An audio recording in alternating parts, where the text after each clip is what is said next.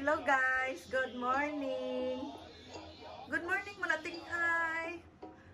Good morning guys. Ngayon po ay si Shoji, yung daily routine ni Shoji na magdadance siya. Yun ang homework na palagi sinasabi ng kanyang nutritionist. Kasi po guys, si Shoji ay inborn diabetic. Tapos nag insulin siya before meal, bago kumain.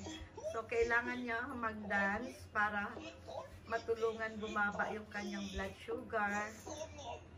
Kasi inborn diabetic nga si Shoji. Ayan. Ayan.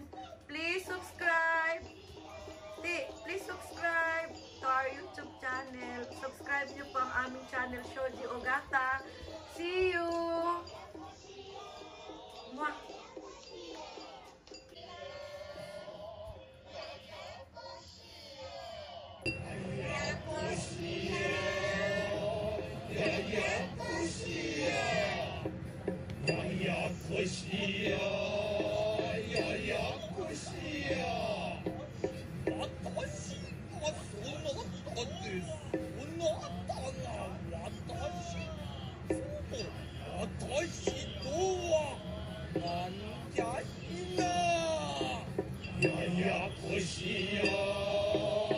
Yeah.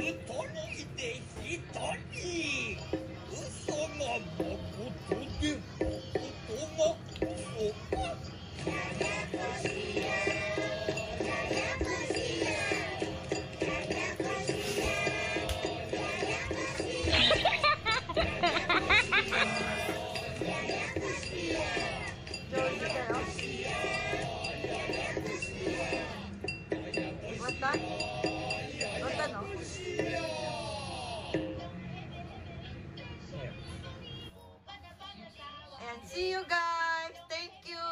Thank you for watching. Bye-bye.